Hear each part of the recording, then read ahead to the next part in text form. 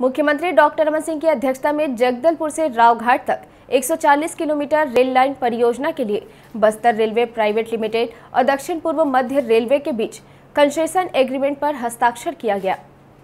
Concession agreement पर Bastar railway private limited के chairman और एनएमडीसी के director T R K Rao और दक्षिण पूर्व मध्य रेलवे की ओर से chief traffic planning manager GMS Naidu ने हस्ताक्षर किए। लगभग 2,538 करोड़ रुपए की लागत की यह परियोजना मार्च 2023 तक पूरी होगी। इस एग्रीमेंट के अनुसार पटरियों का maintenance Bastar railway private limited द्वारा और माल गाड़ियों का परिचालन दक्षिण पूर्व मध्य रेलवे द्वारा किया जाएगा। लगभग तीस वर्षो के लिए किए गए इस एग्रीमेंट के तहत जगदलपुर ऐसी रावघाट के बीच बारह रेलवे स्टेशन बनाए जाएँगे। इस परियोजना के पूर्ण होने पर रेल मार्ग से जगदलपुर, रायपुर के बीच की दूरी 622 किलोमीटर से घटकर 360 किलोमीटर रह जाएगी। वर्तमान में जगदलपुर से कोरापुर टीटलागढ़ होते हुए रायपुर जाना पड़ता है, जबकि इस रेल परियोजना के पूर्ण होने पर जगदलपुर से कोंडागांव से नारायणपुर ज़िले से होते हुए रावघाट पहुँचा जा सकेगा और रावघाट से भानु प्रतापपुर दल्ली, राजहरा होते हुए रायपुर पहुँचा जा सकेगा।